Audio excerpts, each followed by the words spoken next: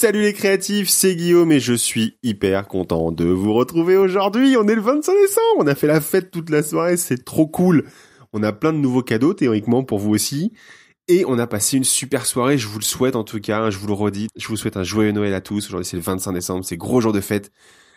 Bref, faites-vous plaisir. Mais donc déjà, je vous rappelle, hein, moi c'est Guillaume. On est toujours dans le cadre de mon défi d'un podcast par jour pendant 30 jours. Et on va parler d'un euh, d'un défi que je me lance. Enfin, je me relance un défi en fait. Vous le savez peut-être pas, il y a pas si longtemps que ça, il y a deux, trois ans, je faisais énormément de sport, c'est-à-dire que je faisais beaucoup de courses à pied, je faisais beaucoup de running. Euh, j'avais un volume de course entre 40 et 70 km par mois, en fonction de la prépa que je faisais. J'ai plusieurs marathons à mon actif, j'ai fait des semi-marathons, beaucoup plus que des marathons d'ailleurs. J'ai fait des 10 km pour m'amuser, j'ai fait des 15 km pour m'amuser, j'ai fait des mud day pour m'amuser avec les potes. Il n'y avait pas la Spartan Race encore. Hein. Enfin, c'était vraiment à ses débuts la Spartan Race et c'était hors de prix. On va pas se dire, on va pas dire le contraire pour s'inscrire. Et c'est vrai que dans ma vie de salarié, bah, je courais beaucoup, j'avais beaucoup beaucoup de chance et je pouvais courir entre midi et deux et tout allait bien. Puis un jour, on a monté notre boîte. Hein, je vous rappelle, on a un studio photo à Oni dans le Val d'Oise avec Céline et euh, c'est vrai que je m'en étais pas rendu compte, mais plus en fait la boîte évoluait, moins je faisais de sport. C'est-à-dire qu'au début, on a le temps d'aller faire du sport, hein, on n'a pas trop de clients, euh, on se tient, on se garde en forme, on se dit, je vais y aller entre 11h et midi, comme ça je suis peinard, c'est fait. Et c'est vrai que euh, bah j'avais le temps en fait, hein. j'avais vraiment le temps. Et plus j'avançais dans la création de la boîte, moins je cours. C'est-à-dire que là, j'ai fait un bilan récemment de course à pied à l'année, c'est juste une catastrophe. Et je suis difficilement à 20, 21 km par mois, ce qui est juste euh, ridicule par rapport à ce que je faisais avant. Et je me suis dit, c'est pas possible, Guillaume, faut que tu fasses quelque chose. Euh, c'est même pas en termes de poids, en fait, parce que honnêtement, je m'en fous. Euh, c'est vraiment en termes d'état mental, de dépassement de soi, de, motivation, de... Il manquait un truc, en fait. Et c'est vrai que plus la boîte grossit, bah moins on fait de sport, parce que plus on a plus on a de clients, plus ils veulent qu'on mange avec eux, donc on peut payer entre midi et deux. Le matin, bah, c'est le briefing d'équipe, réunion d'équipe, donc on, on peut pas aller au sport, on n'a pas envie d'arriver tout découlinant, tout transpirant quand on est en costume. Le soir, eh ben, on a les événements réseau, c'est compliqué, et puis quand on rentre le soir, on n'a juste pas envie d'aller faire du sport. Et je me suis rappelé qu'il y a trois ans, j'étais ambassadeur Freeletics. Alors je fais de la pub pour personne. Hein. Ça peut être Freeletics, ça peut être euh, Runtastic Power, enfin ça peut être ce que vous voulez. Mais je me dis, j'ai besoin de vous en fait pour motiver dans ce projet-là, parce que je vous cache pas que c'est pas la première fois que je m'y remets, mais au moins si je prends des engagements en place publique, peut-être que ça va me sortir un peu euh, les doigts, comme on dit quoi.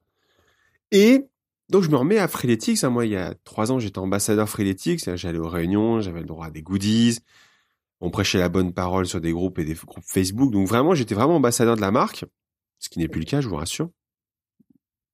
Et j'ai envie de m'y remettre parce que parce que tout simplement, ça manque, quoi.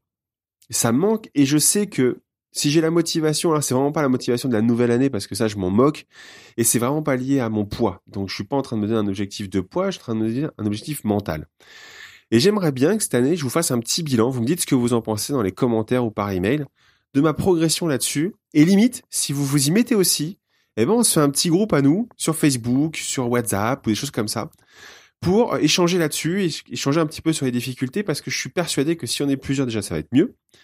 Mais moi, j'ai besoin de m'engager vis-à-vis de vous, qui m'écoutez, pour vous montrer qu'on peut y arriver, même quand on a un calendrier de ministre. Alors, c'est pas le cas du mien, mais quand on est chef d'entreprise, on a du temps pour soi. Et cette année, je vais reprendre plusieurs choses. Un qui va être Freeletics, que j'avais complètement délaissé ces derniers temps. Je vais me remettre activement à l'anglais écrit, que chose que je pratiquais moins, sauf à travers mon groupe WhatsApp, mais ça j'en ai déjà parlé sur le podcast. Donc voilà, j'aimerais bien que cette année soit, cette reprise de l'année soit sous signe de sport, pour moi en tout cas pour reprendre intensivement le sport, parce que effectivement hein, j'ai essayé hein, de faire des trucs transitoires, c'est-à-dire j'ai remis la course à pied, mais bah, je vous cache pas que quand je rentre à 21h, bah, aller faire du sport, de courir, remettre des pompes de jogging à 21h, j'ai juste pas le courage que j'ai aussi une vie de famille avec deux enfants que j'ai envie de voir le matin, donc je vais pas courir le matin. Céline est autant débordée que moi, il n'y a pas de secret, donc on ne peut pas se dire bah tiens toi tu vas le matin, toi tu vas le soir. Donc Freeletics, ce qui est bien, c'est qu'on peut y aller soit très tôt le matin, soit très tard le soir quand les enfants sont couchés, ça c'est top. Soit même après un événement réseau, c'est ça qui est cool aussi. On peut continuer à pratiquer à des heures complètement décalées parce que j'ai essayé la salle de sport, le CrossFit, c'est génial, hein, l'ambiance est top, l'équipe est top, mais c'est juste qu'il y a des horaires et ça, ça me colle plus. Et puis il peut y avoir des modifications d'horaire au dernier moment. Donc quand tu as réservé un créneau à la salle de CrossFit, et eh ben, tu payes quand même. Donc ça c'est un peu les boules. J'ai essayé la salle d'escalade, je pense que j'attendrai, mais plutôt avec mon fils ou ma fille. eux, ils adorent ça. Et puis, euh, moi, je me dis, pourquoi pas aller faire ça avec eux. Et la salle de sport muscu, bah, ça, ça fait 10 ans que je veux plus y mettre les pieds parce que je trouve que c'est le meilleur moyen de se faire raqueter 60 balles par mois. Donc, pour l'instant, je laisse tomber cette partie-là et je me remets à un sport interne, un sport à la maison. Courir, je continuerai à le faire comme je le fais aujourd'hui. C'est vraiment euh, le courant du dimanche. Hein. je me fais mon petit 10 km juste pour rigoler euh, tranquillou. Mais c'est vrai que le crossfit, je vais vraiment m'y remettre. en tout cas, le freeletics, je vais vraiment m'y remettre. J'étais pris de passion pour ce truc-là. J'étais devenu ambassadeur, je vous l'ai dit tout à l'heure. Céline, juste, elle en peut plus en général au bout de 2-3 semaines parce que j'arrête pas de parler de ça, mais on verra ça très, très bientôt. En tout cas, mes amis entrepreneurs, moi, tout ce que je voulais partager avec vous, c'était déjà ce joyeux Noël. On est le 25 décembre, ça c'est cool. Deux, c'est mon objectif personnel de vie que je voulais partager avec vous pour m'engager personnellement avec vous, pour vous et me motiver moi. N'hésitez pas à m'envoyer des messages et je vous ferai assez régulièrement un bilan, je pense, une fois tous les mois de mon avancée sur ce projet de Freeletics, ou en tout cas de sport à la maison, voir un petit peu comment je le vis, voir un petit peu si j'arrive à le maintenir et moi, en termes de réflexion, en termes de, dépassement de soi et tout ça.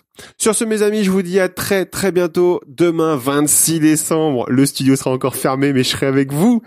Et je vous dis à très très bientôt dans un prochain épisode du podcast d'un couple entrepreneur. Prenez soin de vous, prenez soin de votre famille et mettez un petit peu votre cerveau en pause pour ces quelques jours. Ressourcez-vous et on se retrouve dès demain. Ciao, ciao.